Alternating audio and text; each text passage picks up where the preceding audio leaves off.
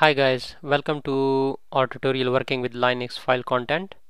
In this tutorial we will learn a few Linux commands and which will be helpful to work with the Linux file content. So the commands which we are going to learn in this uh, tutorials is cat, mm, tac, head, tail, more and less. So first we will start with the head command. So by default the head command will display the first 10 lines of a file and if I want to display the first 10 lines of a file password file in etc directory then I can use the command head and then space etc password head etc password and it can display one two three four five six seven eight nine and ten lines uh, what if I want to display the first two line of the file? Then I can specify the number of lines. So the command will be head mm, hyphen 2 and then the name of the file. So now you see that it's displaying only two lines of the file. So similarly you can specify a different number of lines you want to display so head hyphen n n can be any number. Now if you want to display the last 10 lines of the file the tail of the file then you can use the command tail and see password. And now it's it's displaying the last 10 lines of the file. So you can count the lines 1 2 3 4 5 6 7 8 9 and 10 if you want to display last five lines of the file. Then you can do head hyphen 5 and etc the password. Now you can count the lines. It's 1 2 3 4 5 so it's pretty much similar to head command. And then you specify the number of lines you want to display. Another command which we are going to learn is um, cat command. It's the short for concatenate and what it does it it's just um, copy the standard input to the standard output and this command can be very useful. So if you want to display the contents of the any file onto the standard output or onto your screen you can just use the command cat and then space name of the file. So let's see if we can display the content of the file etc solve.conf so here you can see the contents in the file. Similarly you can display the password file etc password. And here you can see the contents on the standard output monitor or screen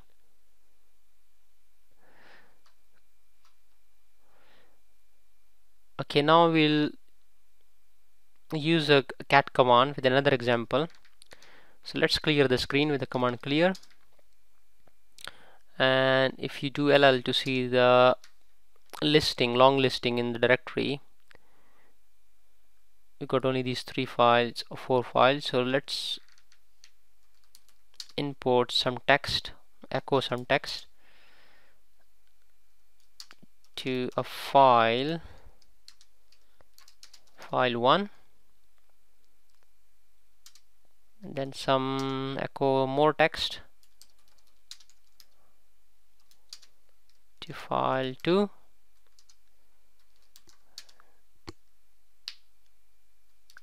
and then echo enjoy to the file 3 so now if you just do ll you will see three files here. File 1 2 3 now if I want to display the contents of all these three files so I can do cat file 1 file 2 file 3 so all the input or all the text which we have inserted in these three files we can display them with the cat command. So if I just hit enter now you can see this is tutorial which we inputted or inserted into file 1 then about Linux we insert it into file 2 and then enjoy file 3 so this is another example of using a cat command. Now let's uh, see another example of the cat command. We can also create some file and we can insert some text into the file. So let's do long listing. We got this file. Now we are going to create a new file so we are using cat command and the greater than sign. Health.txt and then now you can see on the next line it's waiting for the input or the text you want to enter into this file. So good health is blessing.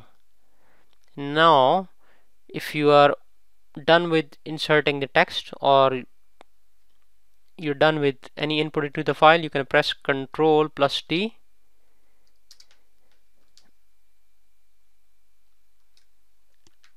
And that's it. Now if you want to output the contents of the health.txt you can use command cat space health.txt and you can see the content which we have inserted into health.txt file I hope now you got the idea of using a cat command. Now we'll see another example of another command tac tac which is reverse of uh, cat. So what does tac does it, it displays the the lines in the reverse order. So let's see this example. I'm going to create another file. Um, reverse dot txt press enter. Now it's waiting for the input. So one two three four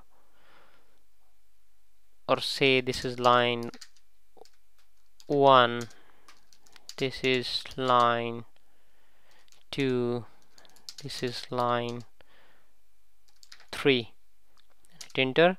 And now to send the signal as end of file do control D. And now you are done so if I want to display the content of reverse dot text with normal cat command I can do cat reverse dot txt. Now you can see the lines in the same order as I entered the text. And now if I want to display the contents in the reverse order it will display the lines the the order of lines in the reverse order. So I can do tac and reverse dot text now you can see the last line has become the first line and it's displaying all the lines in the reverse order. Okay you can also use a custom end marker with the cat command to end the, the file end of the file. So let's see this example. Cat um, test.txt and we will show the custom end marker here as like uh, it can be anything. Stop. Now hit enter. Now we will start entering the line. This is line 1 this is line 2 and this is line line 3 and now if I will enter stop so it will end the line. And uh, it will end the file and hit enter. Now you can see it has finished and it uh, stopped waiting for more input. So now output the content of test.txt you can see the contents of the file. Now we'll talk about another useful command which is more and less. So if you have a file and it's got uh, huge content and you want to display it on the monitor with cat command um, you can use an option more which will display the content um, in pages. And then you can press the spacebar to go to the next page. So let's see an example of another file. I hope it has got a huge text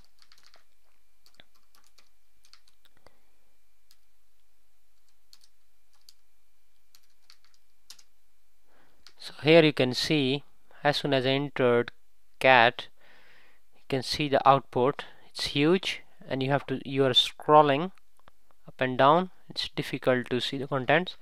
So what I'm going to do now I'll clear the screen. I will use the same command but with option more. So now it will display the output in pages. So you can see you can see the first portion of the file here as a page and at the bottom you can see more. So if I want to go to next page now I'll enter space. So go to the next page again press enter and press enter and then you can read you know contents page by page until you reach at the end. And if you want to quit just press Q and that's it. Similarly you can use the command less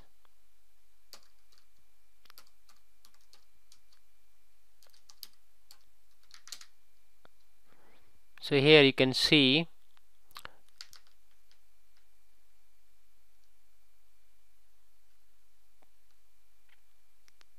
the output as in pages. Again you can press spacebar and you can reach at the end by pressing spacebar and you can see end here. If you want to quit press Q. So this is the end of this tutorial. I hope you've enjoyed the tutorial. Let me know if you have any question and thanks